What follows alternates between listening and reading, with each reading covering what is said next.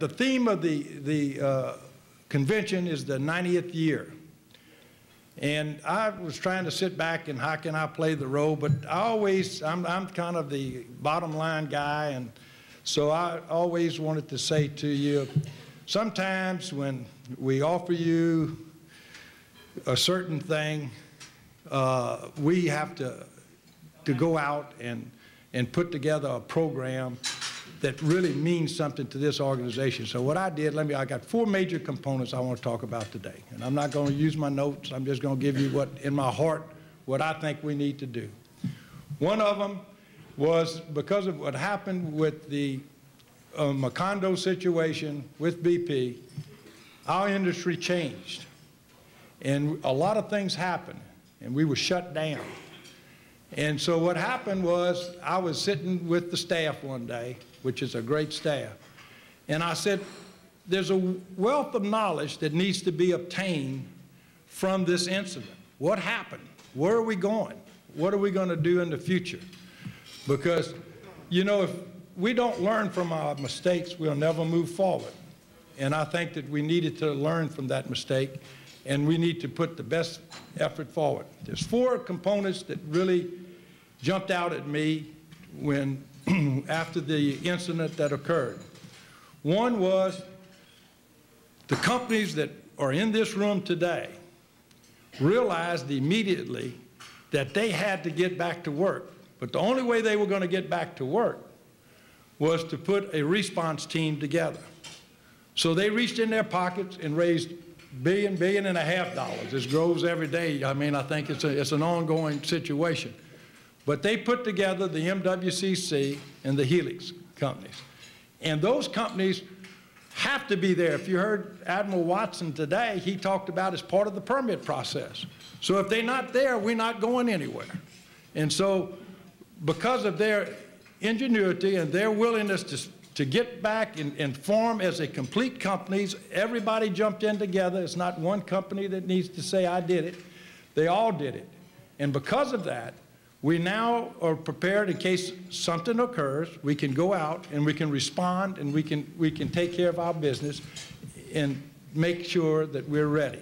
So our companies have put up when they needed to put up and they're prepared. And I think we now can go to the uh, Admiral and say, Admiral, this won't be a stop for us going forward in the Gulf. This is not going to hold us back. Secondly, a couple of things happened we realized that we couldn't speak in Washington as an industry. As much as we wanted to go to Washington said it's not our fault, we didn't make it happen, we didn't want it to do, they weren't going to listen to us. But we were very fortunate that we had someone in office at that time, and you heard his praises today, and I surely can't give the jokes that Angelle can give. But Scott was there, and Scott was the Secretary of Natural Resources at the time, and he was a voice for our government. We were very fortunate that we had somebody that who could get into the thick of things and try to work it out. And so, Scott, I want to take this moment and I want to personally say, on behalf of everybody in the room, how much we appreciate what you did.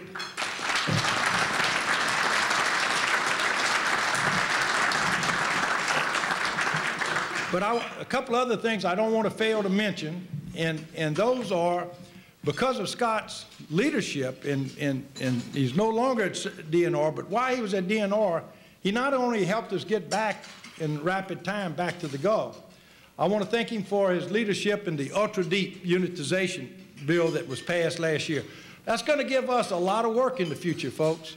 It made it possible for those uh, $150 million AFEs to be spent and to give us an opportunity to hold on some land and it was his leadership that helped us get that unitization bill passed. And I might say he did it in a pretty good way. We didn't lose one vote. So it's not, it's not a, it's, it's remarkable when you think about what the bill says and where we are and what we did. Besides that, he also helped us with the legacy bill. Now, legacy, I promise you, you would never understand it, but even amongst ourselves, it was, it was a tough issue. Yeah, and but we managed to struggle through it all and go forward. And one thing that Angelle always did, he kept it alive. The ball kept bouncing back and forth, and he kept it alive. And if it had not been for them, it's a good chance that it would have died. But because of his efforts, he kept it alive, and we ended up able to cross the goal line. So that's, that's very important. So I want to thank you, Scott, for all your hard work, and we look forward to you working with us in the future and being a big part of our association, and, and uh, thank you for everything you've done. But at the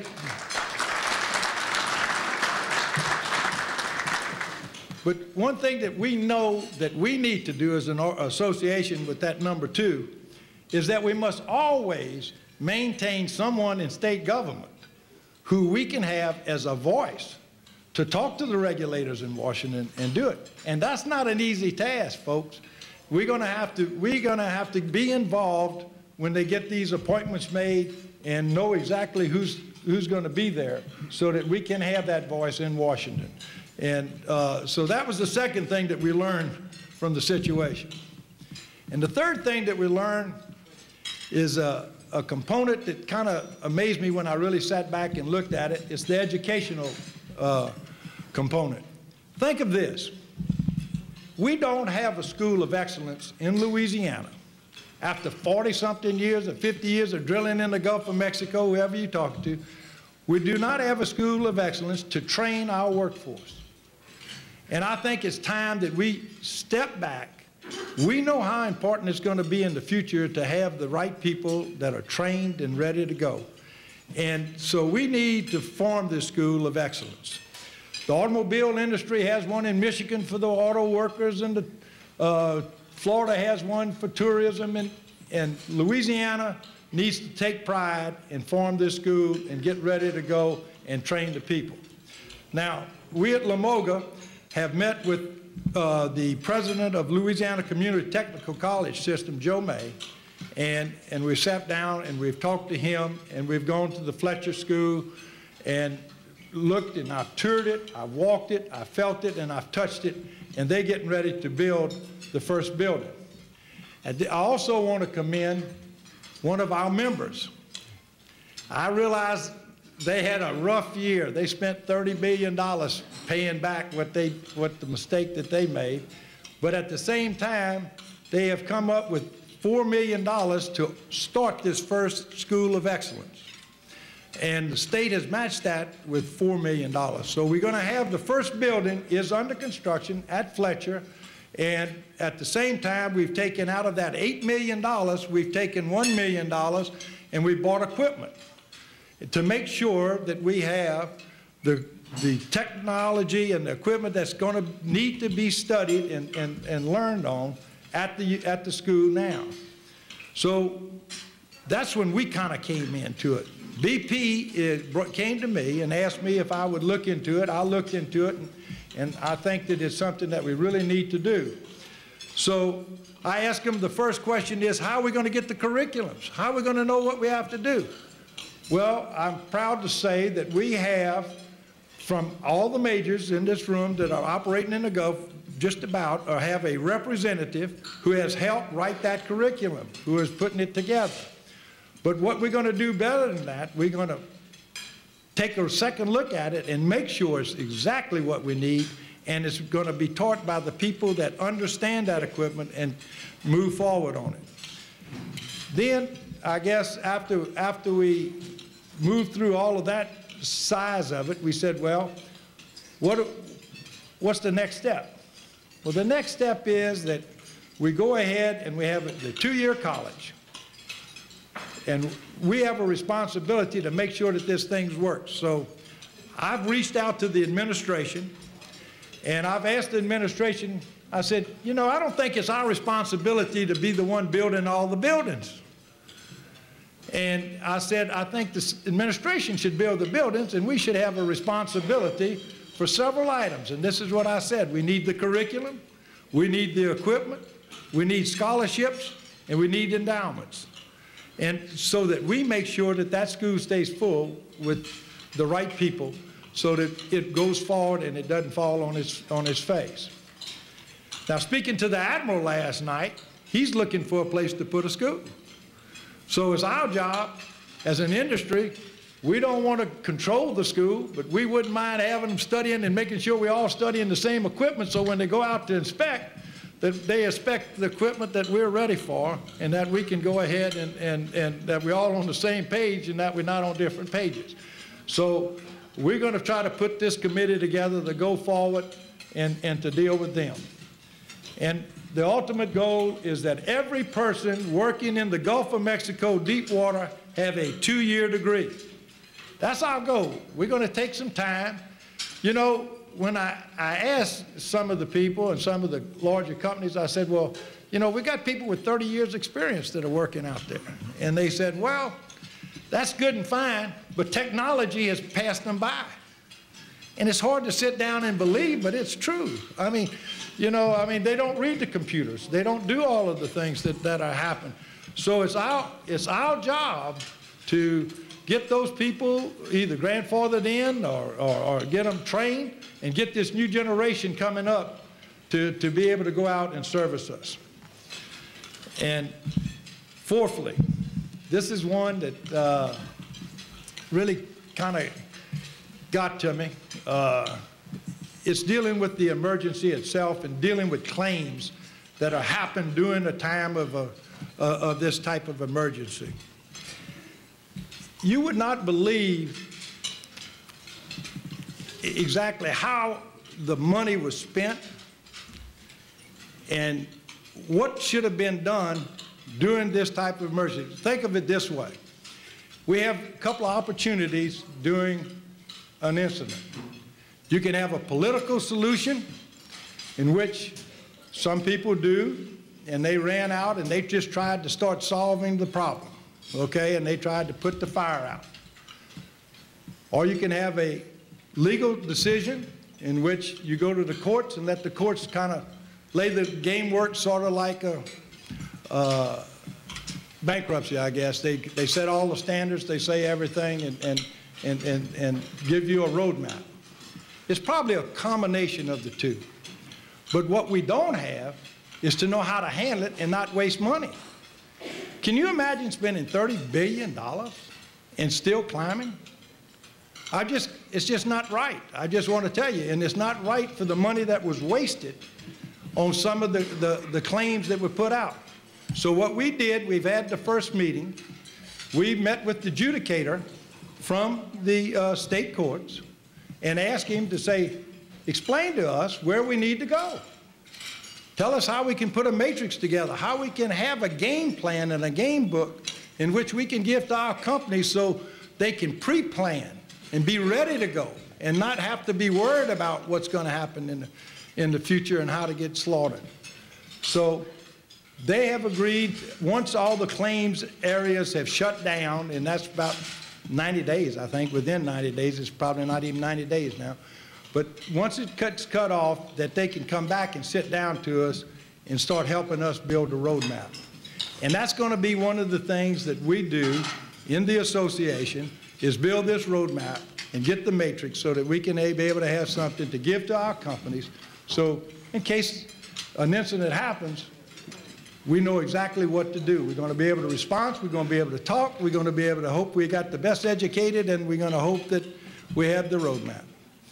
So that's pretty much where we headed. That's a lot, a lot on the table for this year when you think of the tax session that we have in the next 60 days. But uh, we're, we're going to handle those taxes and we're going to and we're going to be able to move forward. But we want to show value from LMOGA to our clients, to our people, and I think this is something that we can do to show value, and we appreciate it very, very much.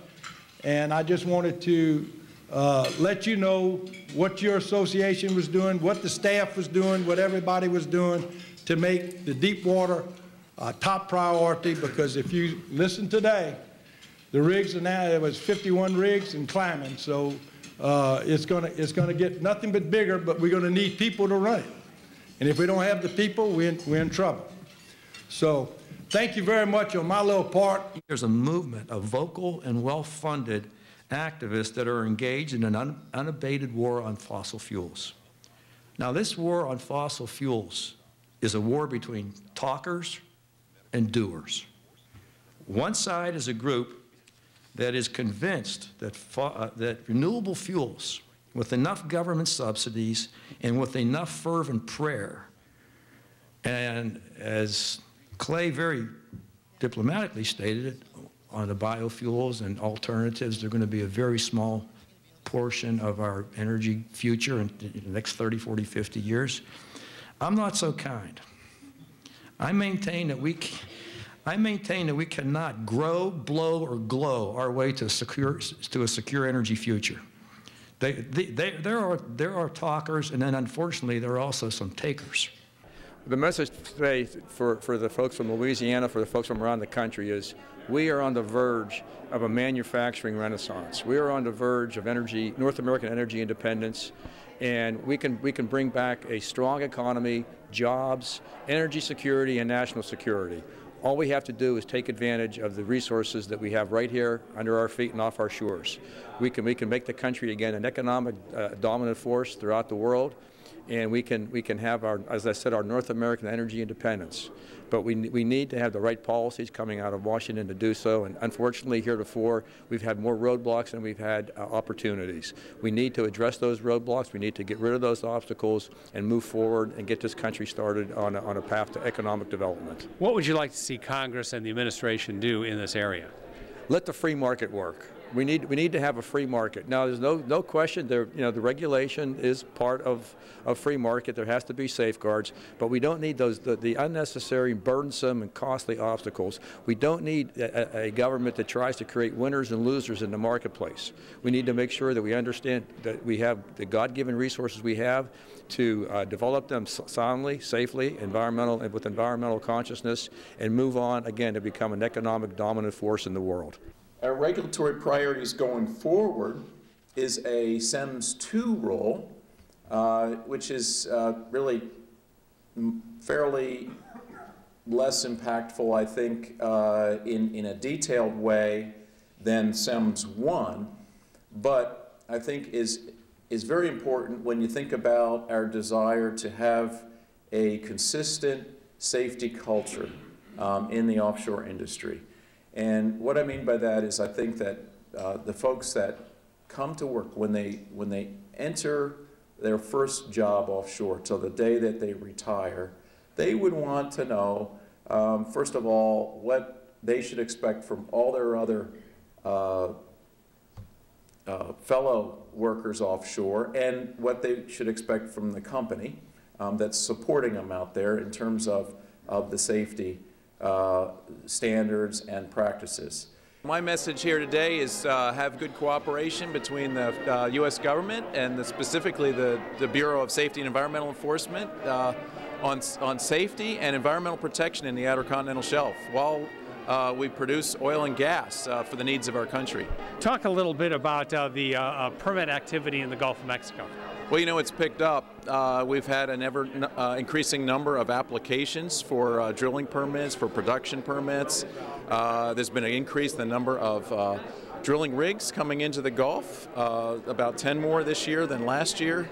So, a lot of activity for the Bureau of Safety and Environmental Enforcement, which issues those permits. When we started having our annual meeting about four years ago, we thought that the annual meeting was just the absolute perfect time and the right occasion to recognize special contributions and achievements from our member companies uh, and individuals in those companies. You know, we created the Pelican Award back in 2010. And this award recognizes the outstanding achievement and commitment to the oil and gas industry, the community, the environment, the state of Louisiana. It is the highest honor that we give at Louisiana Midcontinent Oil and Gas Association. You know, in 2010, we honored Marathon for, uh, in recognition for their expansion of the Garyville project, which at the time was one of the largest capital expenditure, uh, expenditure projects in the history of the state of Louisiana. In 2011, we honored Exxon for 100 years of their presence here in Louisiana. And then last year, we honored Shell Oil. Uh, Shell was was uh, the recipient of the award in their recognition of their company's vast assets here in Louisiana and also in the Gulf of Mexico. Now, this year, I'm very, very proud and very pleased to announce that Chevron Corporation is the recipient of the 2013 Pelican Award in recognition of its accomplishments, its contributions, its investments in Louisiana, and its leadership in offshore development in the Gulf of Mexico. As many of you know, Chevron is one of the largest integrated companies uh, in the world. It's one of the largest producers and leaseholders in the Gulf of Mexico. Uh, Chevron is a proven leader in providing safe and clean oil and gas in this region for more than 60 years, with experience of over 60 years in the Gulf of Mexico. Now, every day, Chevron has about 3,000 employees that work very dedicated and diligently to find newer, smarter ways to power America. Whether it's exploration, production, pipeline operations, or marketing, um, Chevron has been there. They have a long history of consistent support to Midcontinent Oil and Gas. After doing a little research, uh, we found out that there have been four past chairmen that represented Chevron in, on, on, as the board of directors, chairman of the board of directors of Midcontinent Oil and Gas over its 90-year history, uh, more than more than any other company that we we could find records back. Uh, Chevron's vision to the energy uh, to energy uh, is most admired for its people, its partnerships, its performance, and certainly recognized as being a good neighbor in the Gulf of Mexico. Uh, Chevron shows its commitment to Louisiana through several very, very highly visible projects, uh, one of which was the volunteer program for the Super Bowl here in New Orleans a couple of three weeks ago. Uh, the de- development of a multi-million dollar social initiative such as Chevron's Energy for Learning education program and Chevron Gulf Coast revitalization program that address the ongoing relief and recovery in response to the hurricanes and the Deepwater Horizon. It is a real honor uh, for me to present the 2013 uh, Pelican Award to the Chevron Corporation, and it is a very higher honor uh, for me to ask uh, Mr.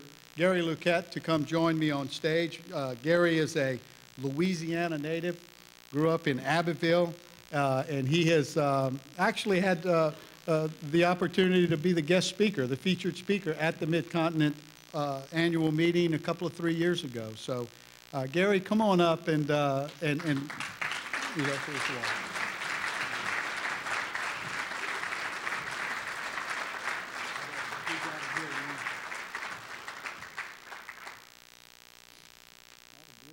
Gulf of Mexico is really important to Chevron. So if you had any questions as to whether we were going to be around for a while, let me put that to rest.